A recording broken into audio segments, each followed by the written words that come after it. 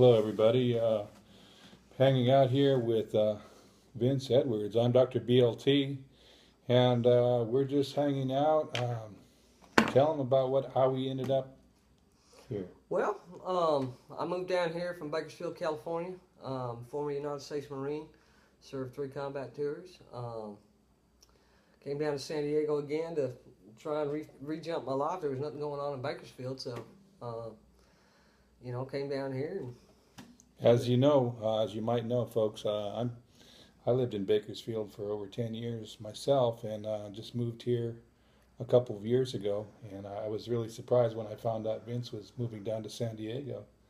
So it's been we've just been hanging out a little bit this afternoon or this evening, and I just have a song in mind for him to uh, record. He's got a beautiful voice, and uh, we'll see what happens here this evening. Um, first of all, uh, let me ta- let me ask you, um, where did music all begin for you?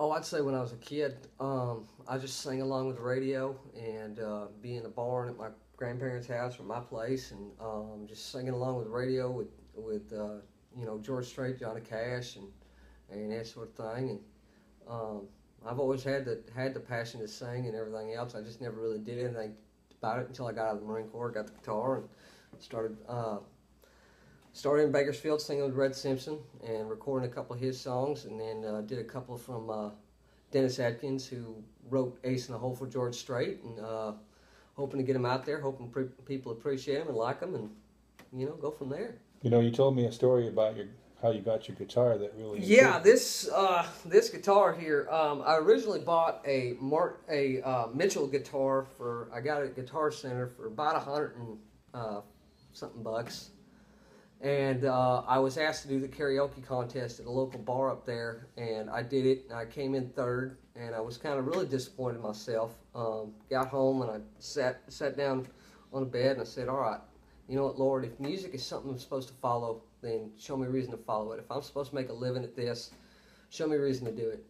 If not, show me what I'm supposed to do in my life so I can make a living and have a roof over my head and pay my bills. And the next morning, a FedEx truck pulled up in front of the house that I was renting a room at, and uh, this guitar came out, and it's a it's a Martin guitar that, um, and I still don't know where it came from.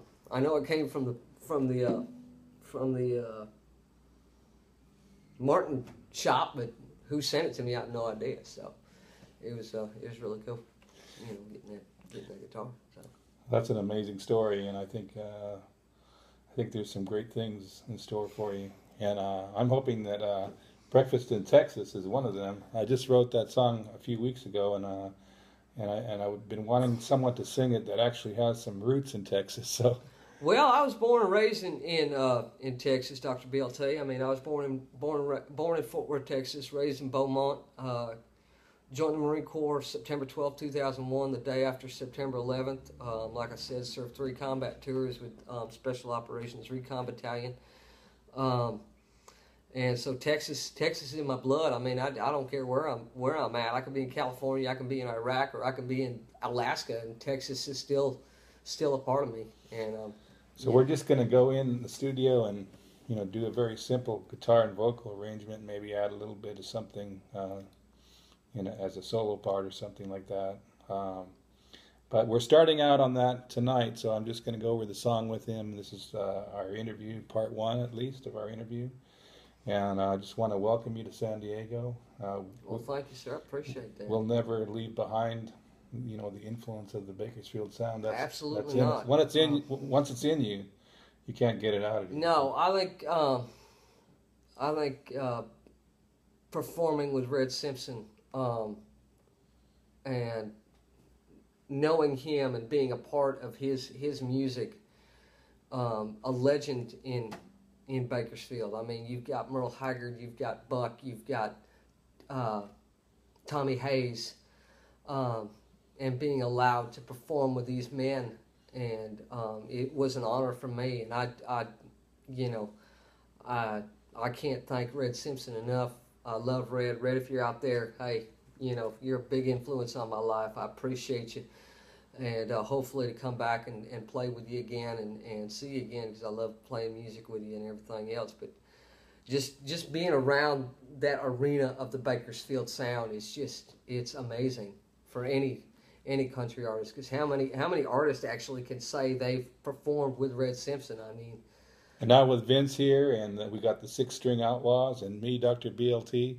You know, we're we're uh, we're going to make the Bakersfield sound grow in this community over here in San Diego. We're gonna it's kind of like we're transplants, you know. And, but the Bakersfield sound can spread out. It's got wings, and we're gonna we're gonna prove that to all of you. started here and uh, take it around to all y'all out there in the country, and uh, hopefully y'all enjoy it and uh, and uh, appreciate it as much as much as uh, Dr. BLT and I do. So thanks for uh, listening to this uh, segment of uh, Dr. BLT's uh, Surreality Show. You'll be hearing more from us. Believe me, you will. Have a good day. Y'all take care. God bless.